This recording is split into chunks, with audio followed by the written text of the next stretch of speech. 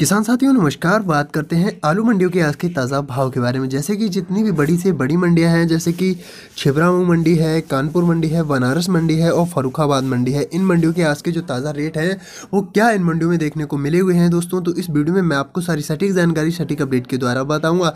दोस्तों, वीडियो को शुरू करने से पहले अनुरोध है आपसे, अगर आपने अभी तक चैनल को सब्सक्राइब नहीं किया है तो जल्दी से चैनल को सब्सक्राइब करें और बेल आइकन को प्रेस कर दें, ताकि आने वाली वीडियो का नोटिफिकेशन सबसे पहले आपके पास ज़रूर पहुँच सकेगा। दोस्तों, सबसे पहले अगर बात करें आज के दिन किसान साथियों, बनारस मंडी की। तो यहाँ पर छह सौ रुपए से लेकर आठ सौ रुपए प्रति एक क्विंटल के हिसाब से जो आज का आलू मंडी भाव है, देखने को मिला हुआ है किसान साथियों, जो नया वाला आलू है। वहीं पर किसान साथियों, अगर बात करें छिबरा मूंग मंडी की तो यहाँ पर सफ़ेद आलू तीन सौ अस्सी रुपए से लेकर चार सौ इकतीस रुपए प्रत्येक किसान साथियों पैकेट के हिसाब से देखने को मिला हुआ है। और लाल आलू की बात करें तो पाँच सौ अस्सी रुपए से लेकर छः सौ चालीस रुपए प्रति एक पैकेट के हिसाब से देखने को मिला हुआ है किसान साथियों।